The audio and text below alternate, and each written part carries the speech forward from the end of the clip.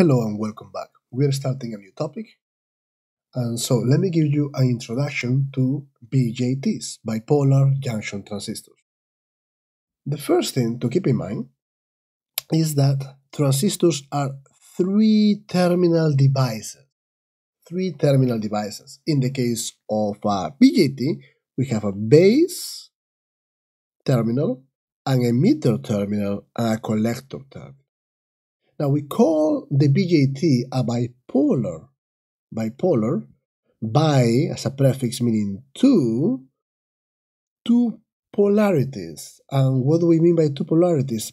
It has to do, and you're going to see when we go over the operation and the mechanisms of the BJT, that it utilizes two charge carriers for its operation you're going to have free electrons, electrons in the conduction band, as well as holes, meaning holes, electrons in the valence band to make this device work. Like all transistors, the principle of, of, the principle of operation in essence is that the voltage between two terminals, in this case the voltage between the base and the emitter terminal, is going to control the flow of current in the third terminal, meaning it's going to control this flow of current. So, in effectively, what we are doing is we have a voltage control current source. If you bias the transistor right, if you have enough base emitter voltage, you have current flow through the other terminals.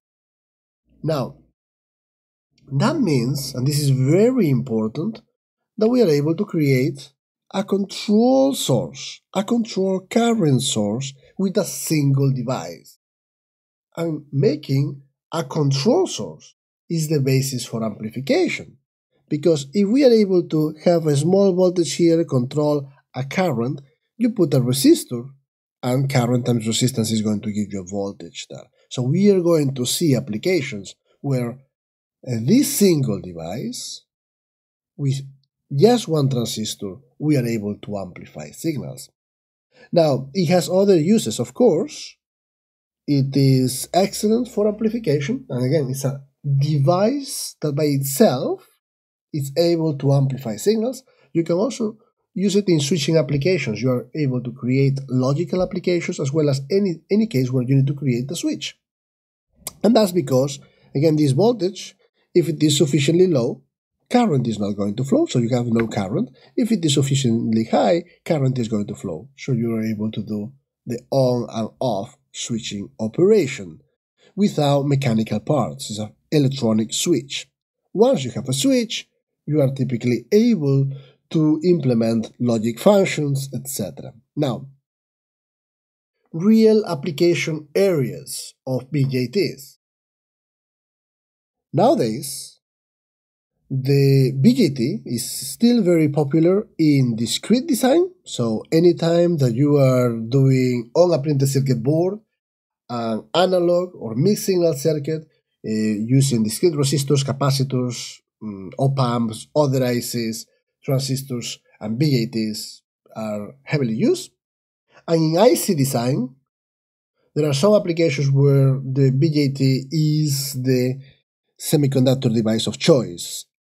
Very high frequency applications, very high speed, and of course you can combine it with MOSFETs as part of the same uh, silicon, uh, monolithic, um, to create BiCMOS circuit.